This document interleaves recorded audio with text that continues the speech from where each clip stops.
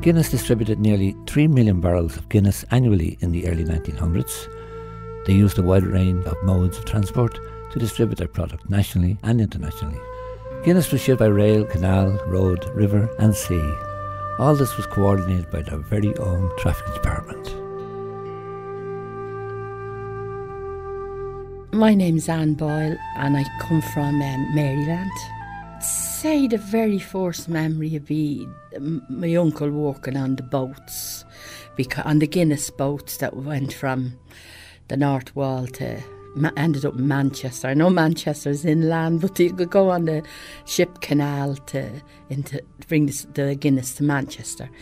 And I suppose it was him and his presence getting brought back from uh, from Manchester would be the first thing, the Guinness boats.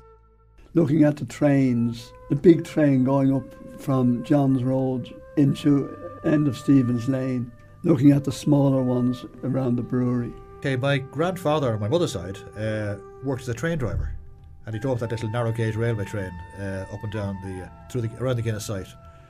But the train went from uh, went all around Guinness's. I believe it was six mile of railway track in Guinness's inside, and it was a very narrow gauge railway. The tracks and the, the steam engines themselves were made in Cork Street in 107 Cork Street by a firm called Spence's, and it went around Guinness's and then went down as far as Kingsbridge Station, as we call it then, Heuston Station now, and it went across the road. The traffic have to stop while the train was going by.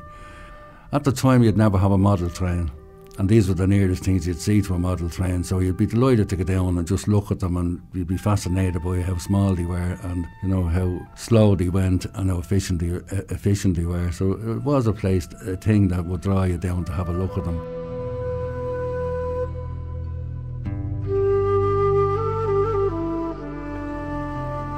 Always no. looked at them going up and down, you know, because we lived on the quays actually where the boats used to go up and down. Down, yeah. In my young days, that's like my grandmother's house was there, and the windows from my grandmother's house looked right onto the Liffey, mm. where, the, where I just went up and down all day, you know. Yeah.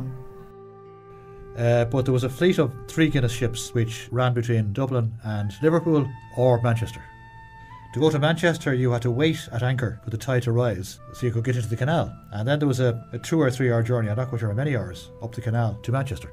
And then all the way back down again, and you had to go through a lock to let you back out into the Mersey, but you only do it while the tide is high in the Mersey. So there was a science in itself, meeting meeting timetables with tides. And of course, the tide changes an hour a day anyway, so it's great fun trying to balance tides and schedules. No, there was always a, uh, a man with a flag with a big train, and um, you'd see him have a flag, so you'd know that you shouldn't go near it. Well, you wouldn't play on them now, but uh, maybe braver kids than me would have. I, I wouldn't go near them now, that's for sure, because I'd be afraid. But uh, we used to follow them, and I'll tell you why. Uh, when they be carrying barley, some of it would inevitably spill, and anyone that had pigeons or birds around the place, uh, we'd get the barley for nothing. And again, there was never any problem doing that. If it landed on the ground, you were entitled to get it.